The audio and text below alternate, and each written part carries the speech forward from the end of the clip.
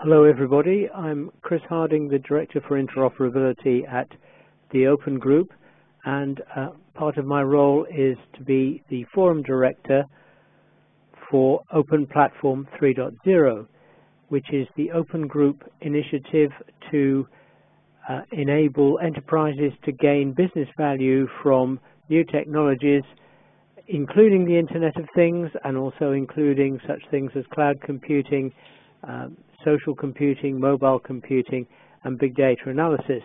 But today our focus is on the Internet of Things, and it's my pleasure to introduce Kary Främling, who will give the main presentation. He is a Professor of Practice in Building Information Modeling at Aalto University in Finland, and he is also CEO of uh, the Finnish company Control Things. And last but not least, uh, he is the chair of the Open Platform 3.0 work group on the Internet of Things. So, Kary, over to you. Thank you, Chris. Uh, so, uh, since the introductions are made already, I'll go straight to the presentation.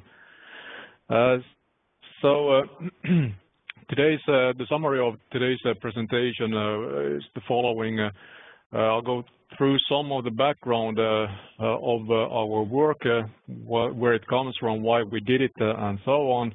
Then go through the principles and use of the open messaging interface, OMI, and open data format standards.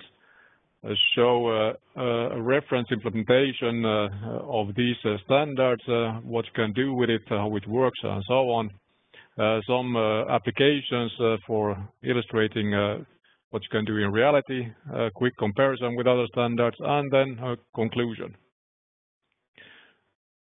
So the background, uh, well, uh, our work uh, in uh, actually at Helsinki University of Technology on, on the Internet of Things uh, started around 2000, uh, and and in 2001 we wrote this DIALOG Internet of Things middleware, which at the time, it was very focused on RFID tags and so on, uh, but uh, we actually quickly came into into the, um, the kind of Internet of Things that we are dealing with today, meaning uh, sensors, intelligent products, uh, uh, getting information from all kinds of different uh, information sources about different products, what happens to them, and so on and so on.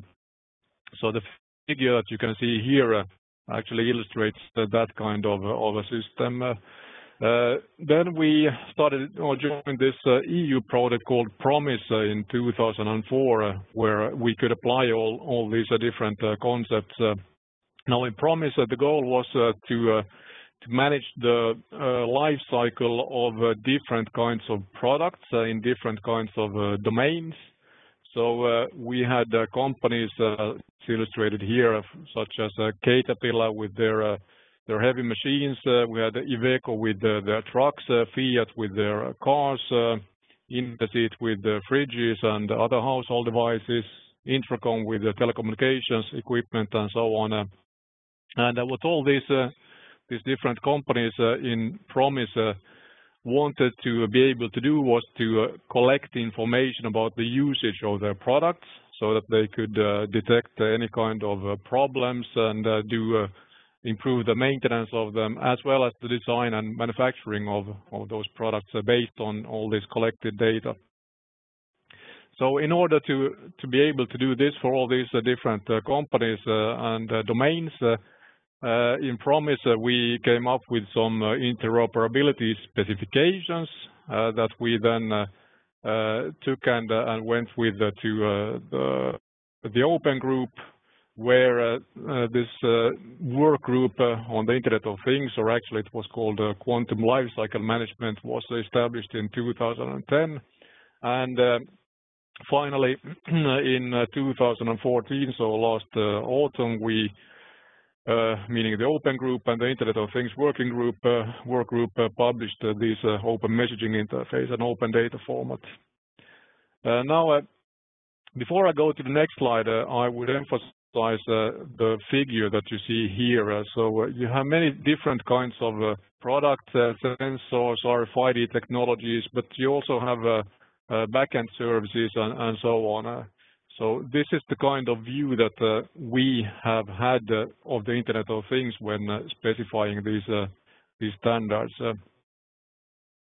Now, that's Uh, as a certain contrast compared to how uh, uh, it seems like most people and companies look at the Internet of Things today.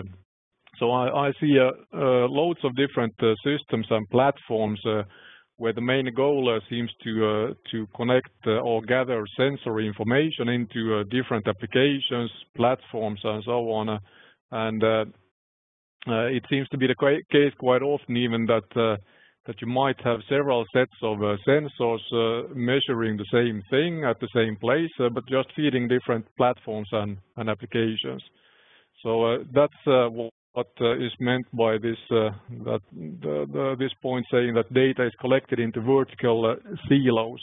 so you would have loads of in interesting and useful data and information potentially available, but it's difficult to use it because there are collected to these specific applications or platforms. Also, if you want to do some kind of machine-to-machine communication, uh, that tends to be limited to, to the local networks, and uh, it's uh, difficult or even impossible to do a bidirectional control. Uh, so uh, the challenge is uh, with this, with the way the Internet of Things works today, is that you actually get or gather huge amounts of data from sensors uh, and uh, uh, this data keeps on being collected uh, just because it's uh, supposed to be good to have loads of data. And then uh, you get this phenomenon called big data, and you sort of hope for somebody to be able to analyze this data and come up with with something useful. well, that might be the case, but but in practice, we have seen that most of that data might not be usable or interesting even in, in practice. Also, it's uh, hard to achieve interoperability with these uh, between these uh, different devices, machines, platforms, applications, and so on. And finally, the Internet of Things really requires communication between systems and organizations, not just local machine-to-machine -machine communication. So what uh, we want to enable or think we are enabling with the open messaging interface and, uh, and the open data format, uh, it's uh, really what you can see in the red arrows uh, here in, in, this picture. So uh, we're not speaking so much about sensor. We are, sensors. we are more dealing with with more intelligent products that might have or usually have sensors connected to them.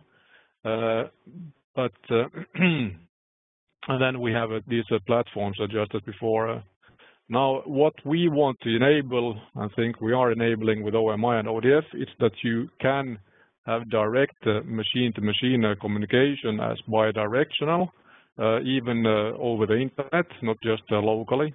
But you can also connect these different uh, products or information systems, uh, not just to the, the, initial application that they were feeding to, but also easily uh, share information with other platforms and applications, so directly from the machines to the systems or from the systems to other systems and so on. So uh, with OMI and ODF, uh, we think that horizontal horizontal integration should be as easy as a vertical integration, and even vertical integration should become much uh, easier than it is uh, just now uh, when you have appropriate standards for doing it. So also with OMI and ODF, um, the purpose is that you should be able to collect the data as and when needed on the fly uh, without having to do any programming or systems integration. And uh, you should also be able to establish uh, this kind of two-way time-limited information flows between trusted entities and the physical products when you, you need it for, for some reason. Now we'll see uh, examples of uh, how you can how you do that in, in practice in, in a moment. So uh, uh, based on, on this view of, of the Internet of Things, so for the for our for the Internet of Things uh, work group, uh, it's really a question of uh, uh creating and enabling systems of systems. Uh. So uh, for us, okay, a system could be or has been past, well, just an RFID tag, or it could be an intelligent sensor. It could be some system connected behind a gateway, Uh, or it could uh, even be an entire ERP system or the weather forecast service or a smart car. Uh, but the specifications of OMI and ODF have been specified in such a way that they are agnostic in what comes to the size of the system. You sort of deal with all kinds of systems in a peer-to-peer manner. Now, Uh, I already mentioned, uh, I think this uh, product lifecycle management and what we have been calling a closed loop lifecycle management for the last 10 years, maybe. So that's a typical case where you have a need for systems of systems.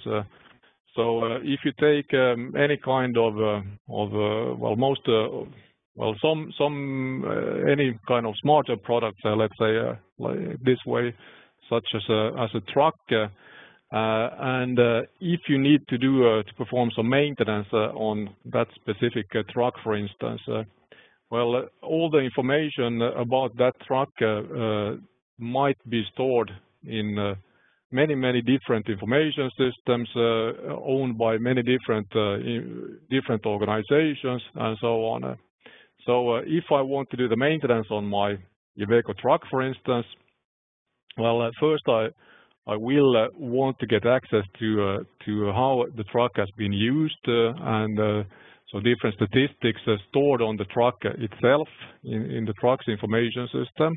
But I would also like to get access to earlier maintenance records made either by me or by some other organization, as well as as access to the maintenance instructions for that specific uh, truck uh, that might come from the manufacturer or somewhere else. So uh, this, when you are dealing with closed loop lifecycle management, that means that that you really are dealing with systems of systems where the systems can be embedded systems, sensors, or any kind of backend systems of different different kinds. So in this picture, uh, the IoT, is really an enabler for accessing all this information, and OMI and ODF uh, are the standards that enable you to to do it. Uh, then to some other kinds of systems of systems, as Chris said, the Internet of Thing the Internet of Thing Things workgroup is a part of the Open Platform 3.0 forum, and together with uh, the Open Platform 3 uh, uh, forum, we have specified a certain number of use cases that are illustrated by this picture here. So here you can see also that it's really about systems of systems. So if you want to do intelligent utility energy management, Uh, intelligent automotive management, intelligent traffic management, and so on, uh, you typically need uh, information coming from many different kinds of sources. So in the same way, OMI and ODF are really enablers for these red lines that you can see here between different for enabling ad hoc information flows between relevant information systems for whatever is your application. Okay, so uh, then um, the next uh, part of the presentation is uh, to have a look at what what OMI and ODF actually look like and and how you use them. So as I said, they were officially published by the Open Group on the 16th of October in 2014. And the okay, the two standards have different roles in the sense that the Open Messaging Interface uh, specifies a protocol for communication, while the Open Data Format uh, uh, specifies a standard, a very generic standard for the payload. Now, the model for this is similar to what is being used on the web. So as presumably most of you know, um, Uh, for the web, the cornerstone uh, protocols uh, and standards are HTTP and HTML, where HTTP defines or specifies a very simple command vocabulary for accessing information, while HTML is is the format for for specifying the actual contents or the payload. Now, what you can do with OMI and ODF is that when you have some new Uh, information system uh, or a new device uh, that comes into a new context. So, for instance, I install a new new machine or a new sensor into into my home, then that machine should be able to publish that it's present there, as well as tell what is the information that it can provide, as well as what are the services provided by it. Now, then the building and the other systems uh, there, they should be able to discover that, okay, now we have we have a new information system here, a new device, uh, and it provides uh, these and these pieces of information and these services. So now we can do new things together with this new system. Doing new things, that assumes, of course, that you can communicate with it. So that means that you need to have read and write operations for accessing uh, and updating information. And uh, uh, one of the cornerstone operations is, of course, that you should also be able to subscribe to information. So one information should easily be able to subscribe to information from this new information system. And contrary to many other protocols and standards, we are not using the complete uh, publish subscribe design pattern. We are actually using the observer design pattern. I won't go into the into the sort of uh, uh, very details in how that differs just now. Both standards, OMI and ODF, are specified using XML schema. And one thing that makes them quite different from Uh, most or uh, maybe even all Internet of Things standards that I'm aware of is that uh, they can be transported by any underlying protocol, more or less. So usually we are using HTTP or HTTPS, but you can actually run and ODF also over FTP, SMTP, XMPP, file transfer, even send them on USB sticks, plain sockets, and so on. Now, this uh, is uh, quite important in the sense that uh, you can use OMI and ODF both as standardized IoT REST APIs, as well as as using them for machine-to-machine communication, as well as machine-to-system communication, system-to-machine, and so on and so on.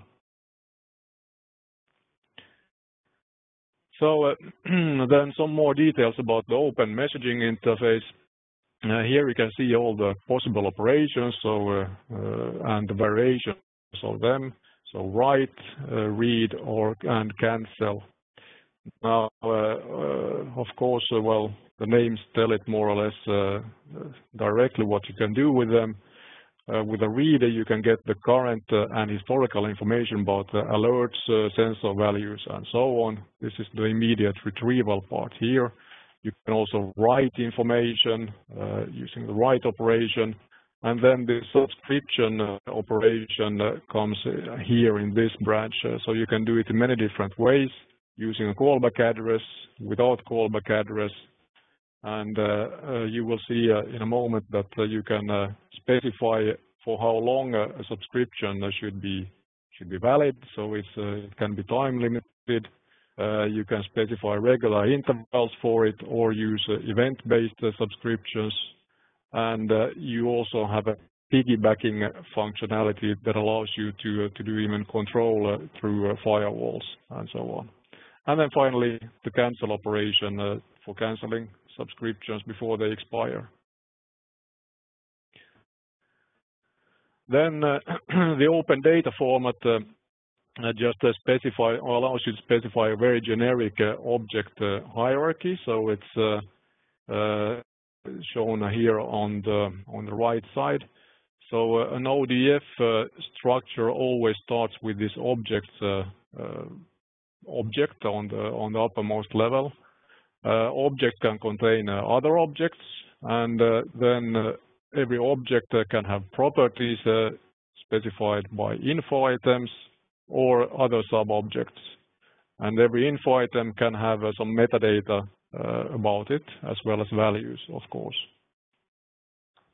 And here on the left, you can you can see just a simple example of uh, how you combine OMI and ODF. Uh, so this uh, would be a write command, and what or the object that is sending the, the write command is the, this smart fridge that you can see here, identified by okay sort of generic name here in this case, and uh, it is sending uh, the current fridge temperature set point and the current freezer temperature set point. So this is a very simple example of uh, what an OMI and ODF uh, message uh, can look like. You'll see more examples of these in just a moment. Now, uh, what is more in interesting is to see how you can subscribe to information so uh, in that in this case, uh, I am using the read operation. Uh, I am giving an interval of 600 seconds, so I am requesting for information every 10 minutes, and it should be sent to the OMI node at this callback address. And the time to live minus one means that this subscription should exist forever or until it's cancelled. And uh, in this case, I'm using ODF as uh, the query language. Uh, so I am saying to this or telling this OMI node that I want to read information from this smart fridge 22334411. And the information that I want to get every 10 minutes uh, is the door status, the temperature, and the consumed electrical power measure. And then once uh, this subscription has been made, I start getting this kind of response uh, messages every 10, every 10 minutes uh, with the actual, with the same ODF structure, but with the actual values here, as you can see in the by the value tags. So this these are this is sort of the basic introduction to to what it looks like. Now it will be become a little bit more challenging because we are passing uh, live. Uh, so um, as for most uh, standards, it's it's very useful to have a have a reference implementation that shows how you can use the standards, how you should use them, uh, that you can interact with uh, so that you can check that your implementation is uh, compatible and also, since it's uh, published as open source, uh, you can actually take the code as such and integrate it into your own applications so that uh, so that the uh, implementation efforts of uh, of getting the standards uh, into your own system are are kept as low as possible. Now, the plan is also to disseminate this re reference implementation through this IoT-Eclipse.org Uh, and other appropriate uh, uh, dissemination channels. And uh, what uh, this reference implementation implements, okay, we have URL-based discovery and read operations and web GUI for more advanced operations. It's written in Scala, in the Scala programming language, which is sort of the new language that's rising at least in our university. But we do also have implementations in quite a few other languages. I'll uh, quickly show you a small implementation made just uh, with a simple Unix uh, shell script for publishing information. So then I will I will jump over to to the to Google Chrome uh, and uh, or any any browser, but uh, case, I am using Chrome. So uh, uh, what I will start with is uh, showing how you can access information using just simple URLs. So if I write here the address of the OMI node slash objects, I will get a list of all the objects that I have available here at this OMI node.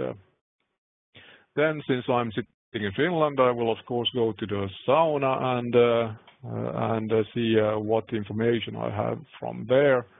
Uh, and uh, I think you got the idea already. I just see what are the different sub-objects and info items, and then I add them to the URL and get access to to the next level. Then, if I want to get just a raw value, I can write slash value here at the end. And if I want to get access to the metadata about uh, this uh, temperature info item, then I just write metadata here. Uh. So, uh, well, metadata can can be uh, information such as unit, manufacturer, and so on. Um, to be honest, this is just an example of how you can specify metadata. In uh, practice, uh, it's recommended to use uh, some some other kind of standard for for for device descriptions or uh, this UDEF framework, for instance, a UDEF standard that's uh, that uh, is also developed by the Open Group. So that was the URL-based discovery and accessing or how you can access information that way. Now, if you want to uh, use the total range of uh, possibilities uh, and functionality of OMI and ODF, then uh, you should go to this uh, example uh, web user interface. Now, what I have here, it's first the address of the OMI node again. It has now fetched all the objects automatically that are available there. So here I can select from the hierarchy or from this window what information I would like to request. So uh, for the sauna, for instance, I take the CO2 level, uh, current humidity and temperature. And uh, then in the next step, I generate the corresponding OMI and ODF request. Now I can modify the parameters of the request from here. So the time to live uh, says uh, how long uh, this message should be kept alive if it can't be delivered or if it's a subscription, then it says uh, how long uh, the subscription should uh, should be should be valid. Now, the interval parameter uh, specifies in seconds uh, how often I want to get the values, uh, or if I specify minus one here, then that means that I want to to get an event every time that the value changes. So for instance, that's good for uh, monitoring door openings and closings or or uh, let's say a fridge uh, that's going to break down, then you would like to have potentially a subs subscription that's uh, that is eternal, but uh, you only want to get an event uh, when something something unexpected is is happening. Then you do also have the possibility to specify a time frame this is if you're just doing a basic read for getting historical data between two dates. Uh, you can also request for the newest uh, n, well, the newest number, newest available number of historical data available, or the oldest ones, and then you can specify a callback uh, where where the data should be sent. Uh, but in this case, uh, what I'll do uh, is that I'll just send the, request, and uh, then I sort of I get a I get a response that uh, shows me just uh, the the current values uh, of, these uh, of these info items. Uh, now, in this case, the, these are fake values because since it's a reference implementation that is supposed to run anywhere, we haven't connected this one specific one to to real sensors. But you'll see some some of those in in just a moment. Okay. Uh, I think that was uh, showing what uh, the read operation looks like. Now, next I will jump to something a little bit more nerdy or geeky. So, um, what uh, I have here, it is, uh, I just jumped over to my uh, virtual box, virtual machine with with a Linux running there. Now, uh, I'll try to be not to be too quick with this, but what we have here, it's actually a Unix shell script that is a generic script for generating write messages using OMI and ODF. So uh, I'll just show you that it's very short. This will also be published uh, as open source. So this sort of implements the whole OMI ODF that you need for producing this kind of write message. So the formatting doesn't look uh, that great here, but that wasn't the purpose. Normally it would be on just one line, but what you can see here, it's uh, that uh, you have the OMI header. So this is a write operation, and uh, what I am sending, it's an object called a basement one, because I plan to install some temperature and humidity sensors into a room in our basement. And I have three different sensors. And for, okay, so sensor three, and all three sensors provide me with temperature and humidity values. Uh, now, the actual physical sensors are uh, one wire sensors, uh, and they're on the table here beside me, in fact, so I could show them live. But the way that you get the information from them is by defining a simple data structure that looks like this.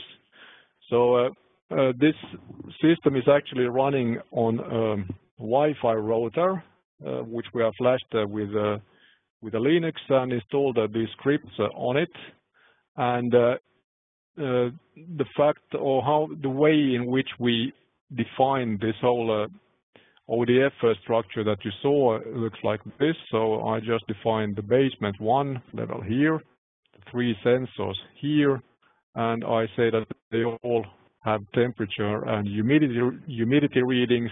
And uh, if I uncomment these, which I do when it's uh, when the script is installed uh, on the on the router, then I will actually get the real values from from the sensors. So the point uh, that I want to make uh, by showing showing this system is that uh, you can implement an OMI node that gets real sensor values. So in this case, uh, six uh, sensor values with real minimal effort and on on really, uh, let's say, low range hardware. So actually, if you have a look at the shell script, well, it's that's something that you can put or implement even on on very low uh, range, uh, low memory, and so on hardware. Okay, uh, Uh, I hope that uh, at least uh, that many of in the audience could follow this what was happening on the Linux system. So this was the reference implementation part. Now, then I'll quickly show some some example applications. Uh, as you probably can imagine, uh, over the years since uh, 2001, uh, we have uh, made loads of different uh, implementations, real business applications, and so on also. But today I'll just show some um, some work that we have ongoing. So as Chris Harding said a moment ago, I'm also professor or official professor in in building information modeling, so this will be very building focused.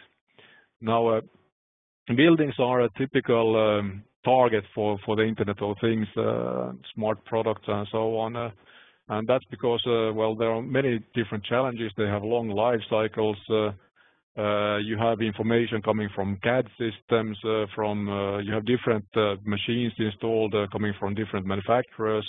When you want to optimize your energy consumption and so on, you need information from, uh, well, about uh, energy prices, weather forecasts, uh, weather conditions. You need to be able to control different systems inside your your house and and so on and so on.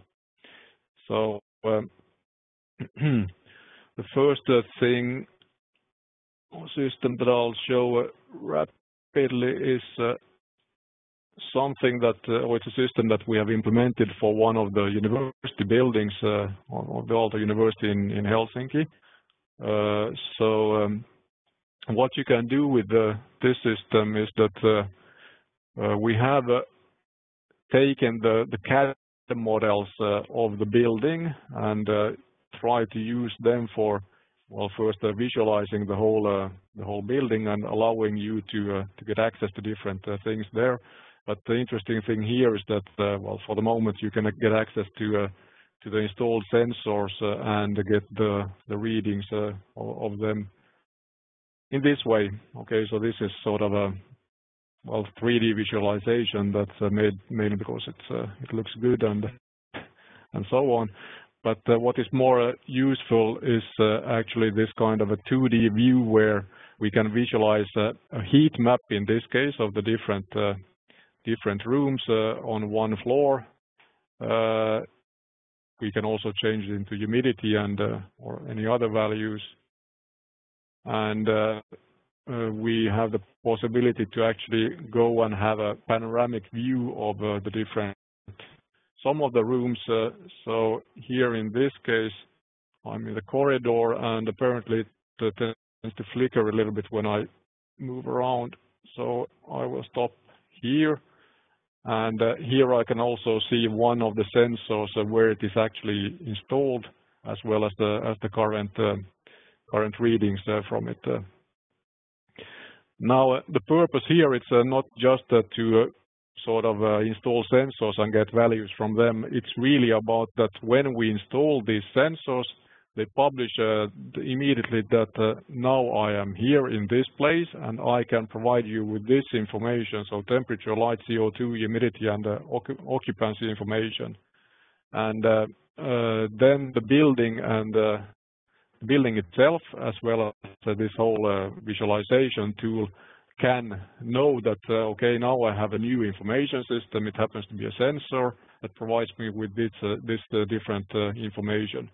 So then once I have all these different information sources publishing information using OMI and ODF, I can uh, combine them and uh, and build uh, new services for energy efficiency or or combine information from access control systems, from heating systems, and and so on and so on.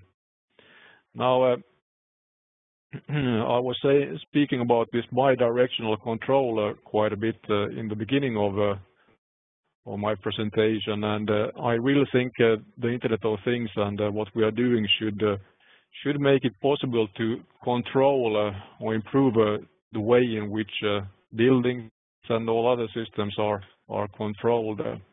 So what I will be showing next, it is I'll quickly jump uh, back to this slide. Uh, uh, it is a system that is installed in our house. In fact, it's a ventilation machine that looks like this with heat recovery and so on. In modern buildings, this is sort of the cornerstone piece of equipment for for making things or for making buildings energy efficient. Now, what makes this machine interesting is that immediately when you have installed it in your house, uh, and if it's connected to the internet, uh, then it will immediately give you access uh, to this kind, to this user interface. So from a smartphone or any kind of browser or whatever, and it, it will tell you its phone serial number, as you can see here, as well as a PIN code, uh, so that you can establish uh, an SSL secured connection all the way from uh, from my browser to uh, to the actual machine. Now this is uh, uh, quite important that you do have a complete security, as you will see in a moment. So what I can see in this window now, it's the current status of of the machine. So HRC, that's, um, I don't remember what that is, uh, to be honest, uh, but uh, you can get access to different kinds of set points. But uh, to get the connection with OMI and ODF, I will jump uh, to this uh, measurements uh, window here, where you can see uh, uh, all kinds of sensor information which have been collected here in southern Finland in the last week. So these are real data, as you can see by the curve. You can also see that there was a real network outage here. And in this case, uh, for these uh, sensor values, uh, they are collected and stored uh, with a 10 minutes uh, time interval. So that's uh, showing this interval-based subscription that for this kind of information, it's enough to get it every 10 minutes. Now, that has been selected so that also the this machine maintenance provider and manufacturer can gather relevant data about these machines such as these uh, heat recovery rates on the incoming and outgoing sides of the machine. I won't go into the details about what these mean, but you can actually deduce uh, quite a lot from these values. So uh, you can deduce uh, how uh, how well the machine is performing, but you can also see if you should change your filters uh, soon or if anyone has been changing the airflows or doing something that will that might eventually make your your home become get moisture or, and, uh, and health problems of all kinds. Now, uh, what I usually show uh, to emphasize the importance of security in, in the Internet of Things, it's the CO2 sensors that we have installed in two of our bedrooms. So these CO2 sensors are used for controlling the machine so that that the CO2 level doesn't get too high uh, at any moment, and that's usually during the night because it's uh, in, in the bedrooms. and uh, well, from this kind of, of course, you can actually deduce uh, quite a lot of uh, very sensitive information, such as how many people have been have been sleeping sleeping where and and so on. So I won't uh, stay here for longer at this page. now, so those values were collected every 10 minutes. that's uh, opposed to what you can see here actually, this uh, value 632, that is updated on a much more, much uh, quicker interval. So in this case, since uh, the machine and the system knows that uh, there's a browser now uh, looking at this information, then it starts updating this value with a, with a much quicker, um, quicker pace.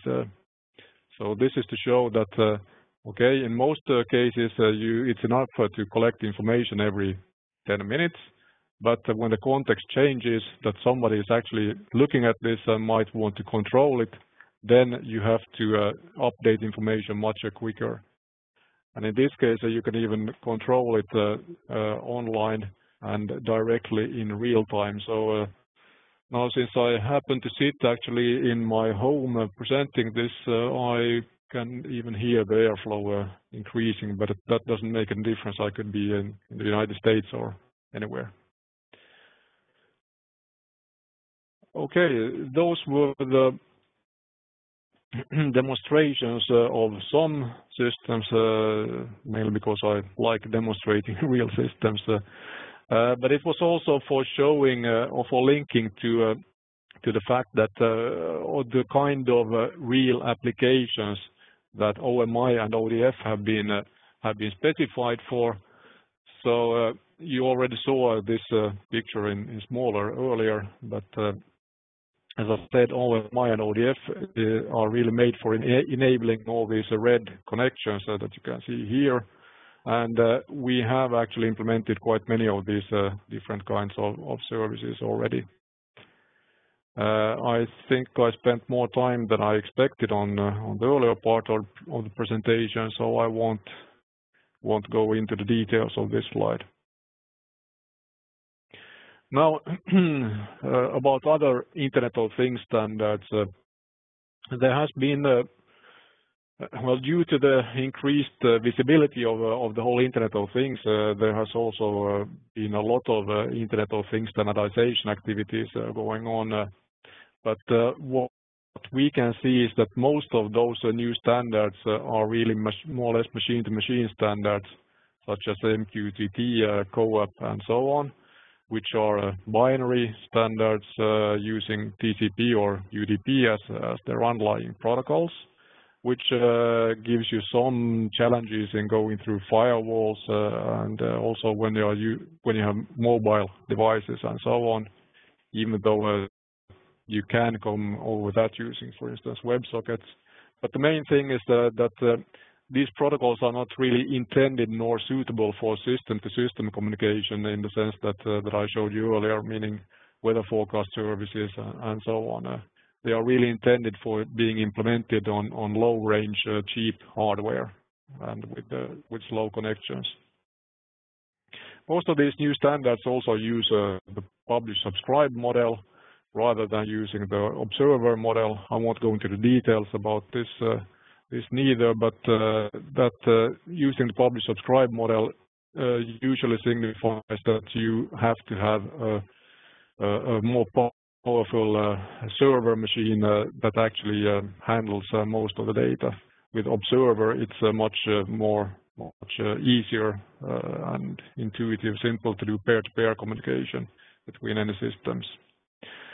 So uh, then the other end of the standards uh, perspective is uh, are the REST APIs. Now, there are many many Internet of Things platforms and systems and applications that provide you with REST APIs for communicating with them. But in reality, as you know well, REST is not a standard, it's just an architectural model of how you should build web systems.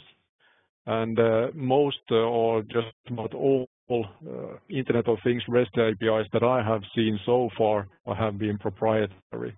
So there's really a huge huge number of of different REST APIs for the Internet of Things, and integrating with them and communicating with them is not immediate at all. So the conclusions. Well, in the best case, we think that OMI and ODF uh, will do the same thing for the Internet of Things as uh, HTTP and HTML for the web, meaning uh, that they would be sufficiently generic and good to be usable for anybody for publishing information, and that there wouldn't be be tens of different standards used by different organizations, service companies.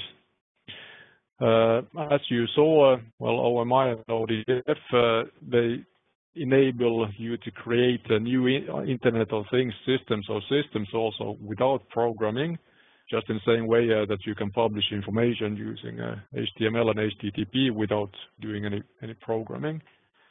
Uh, then this keep it simple. Um, well, the OMI specification is 21 pages, ODF is 10 pages. Uh, uh, I think we have managed to keep it simple, but that's also because uh, we have been working on these specifications over many years, gone through many real-life implementations and so on. So they are pretty mature. And as well, nobody knows who actually said this thing that I didn't have the time to write a short letter, so I wrote a long one instead. That's Uh, something that also applies to OMI and ODF. We have been improving them uh, a lot over the time. So, uh, so now that we claim that they are generic, compact, complete, and they are also extensible for for for use in in many in all kinds of applications, IoT applications at least. So, anyways, well, we all know about the challenges of interoperability. And when we start implementing or when we really want to go uh, for the Internet of Things, uh, cyber-physical systems and so on, uh, it will be a nightmare if we don't come up with with some generic standards such as OMI and ODF that can do the same thing for the Internet of Things as HTTP and HTML for for the web. Well, thank you, Kary. That was a uh, fascinating presentation, uh, for me at least. Uh, and I see we have a pretty significant number of questions. I don't know that we'll have time to get through all of them, but um, let's see if we can at least get through some of them.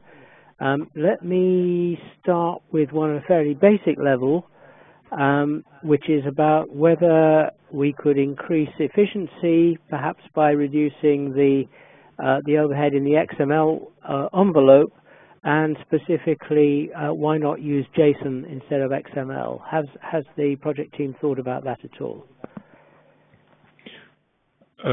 Yes, we have. Actually, when we started specifying OMI and ODF, JSON was not a big thing. But one reason for I'll just jump uh, quickly here. One reason also for using XML schema is that um, that it's a sort of more rigorous and formal tool for specifying uh, this kind of standards uh, rather than using JSON uh, prototypes or, or, similar. But uh, uh, as you know well, you can translate XML quite more or less one-to-one uh, into into JSON, and we have actually done that in real implementations. Okay, so what you're saying basically is it, it should be possible to use JSON, uh, but it's not a part of the standard at this point, uh, but it's something that would still be considered perhaps for a future uh, future version. Yes. Okay, um, let's um, I combined two questions there. I'll probably be combining two at this point. Um, oh no, let me let me do another straightforward one. Hopefully first. Is there? It's from um, Paramesh. Is there any limitation on the maximum length of the data and total count specified for info items? No, there's none. Okay, so that's and can we embed a sensor ML message or something similarly complex inside an info item element? Uh, I don't remember exactly what SensorML looks like, but uh, the answer is uh, yes. Uh, we have uh, you, we have in real applications also used even CSV, for instance, as as info item values. Uh, because with ODF, uh, you can uh, you can have at least the column names as metadata, for instance. So if you want to make it more compact, then you can do it this way. So here's another question from Schultz. Um, are the companies producing the readers writers such as RFID buying in, or is this simply an academic standard? Uh, well, I don't think the RFID reader producers will be doing it because they uh, they are more focused on EPCIS, which is a global standard that uh, which even that hasn't been completely adopted. Uh, well, it's it's sort of a tricky question in the sense that it's not an academic uh, exercise uh, uh, because uh, my company and many other companies have been implementing uh, these uh, standards in, in, their own systems. but it's there's of course a, a, huge challenge in, in take up of, of new standards by by companies. So that's why we are pushing these reference implementations also in order to make it make it easier. Okay, perhaps it might be worth saying uh, something more about the, the Promise project and the uh, what led, in fact, the requirements uh, as to why the um, why the protocols were were developed and took the form that they did. Um, what what was the what was the reasoning behind, for example, uh, um, adopting the observer pattern rather than publish subscribe? Okay, but uh, the requirements, uh, so uh, I mentioned that we had uh, these uh, Caterpillar machines and uh, and trucks and so on, which already have have their own embedded controllers on them, as well as RFID tags and so on.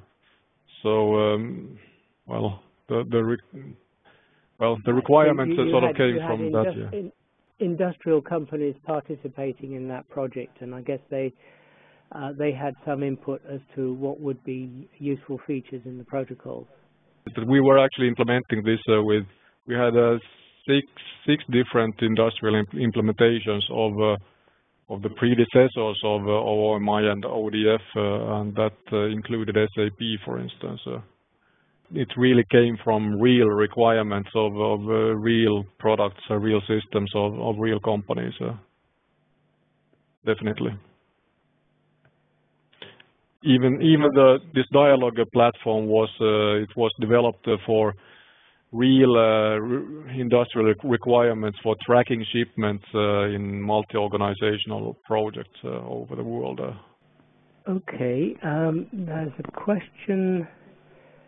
Um, any suggestion on a point of contact to begin getting one's feet wet uh, from Mahmoud? Well, uh, I think uh, if you're a member of the Open Group, uh, the one good uh, thing to do would be to join the Internet of Things work group or Open Platform work. And uh, then I also had this link um, now for accessing the, the software which is uh, the one in GitHub just now. It's a temporary one. We will move this uh, somewhere else, but all that will be published uh, through the Internet of Things workgroup, as well as the, the place where you saw the reference implementation. So people could go to, to GitHub and, and get something that they could, could start start playing with. Yep, you can get that already now, in fact. Uh, but I would maybe not recommend doing it straight away. Then again, yeah, why why not? But there might be some some more things to clean up uh, still. Okay. Um, um, it seems that Internet of Things, this is from Jasvinder, Internet of Things use cases are more for construction and manufacturing industries. Do you have any thoughts about other industries such as banking, finance, insurance, or other services-based ones? Uh, to be honest, uh, no.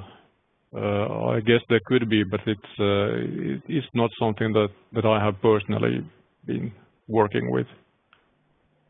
Okay, I guess in principle a sensor is a sensor, whether it's uh, uh, on a on a digger or on a cash machine, but uh, you haven't sort of had experience in or, or done any thinking specifically in that no, but area. I, I should add something. We have uh, applied uh, OMI and ODF also to uh, design processes uh, where different designers in different companies can subscribe to to changes in design documents made by by other designers in in other companies. So this subscribing for um, subscribing to any kinds of events happening, such as a document being updated or, or a part of a CAD model, model being updated. You, you can also uh, apply that in at least in the design uh, domain. Uh, I guess that in finance uh, you could also subscribe to I don't know the price of a certain stock paper falling radically or or subscribing to to stock paper prices. Why not? Why not? Because they are in fact quite quite general standards, but of course they, as as, you say, they the the center of of of uh, requirement study uh, for them has has more been in the in areas such as manufacturing. Okay, so uh, there are uh, some other questions that we haven't had time to get to, and uh, I'm sorry that we haven't been able to do that. Um, but, but uh, thank you everybody for participating, uh, and thanks particularly Kary for your your presentation. thank you very much, everybody.